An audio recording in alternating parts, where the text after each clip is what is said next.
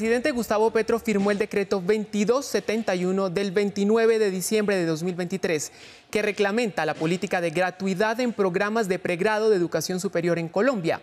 Aquí les contamos cómo puede acceder a este beneficio.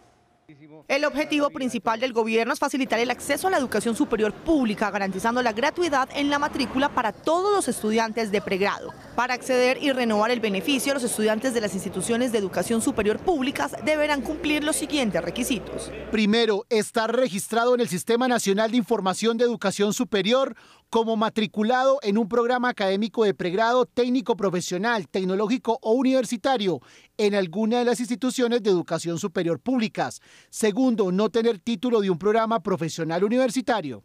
El Ministerio de Educación será el encargado de transferir anualmente los recursos necesarios a las instituciones educativas públicas para cubrir el costo de la matrícula de los estudiantes. Esto se hará considerando la situación socioeconómica y con el fin de reducir barreras para aquellos en condiciones de vulnerabilidad.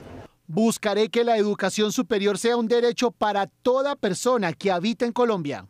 En ese camino destinaré para el año entrante 2.8 billones del presupuesto nacional y se destinará 1.5 billones para incrementar la infraestructura universitaria. Sin embargo, hay condiciones bajo las cuales un estudiante puede perder el beneficio de la gratuidad. Estas incluyen la finalización del periodo establecido, proporcionar información falsa o documentos alterados al acceder al programa o dejar de ser estudiante activo según las regulaciones de la institución.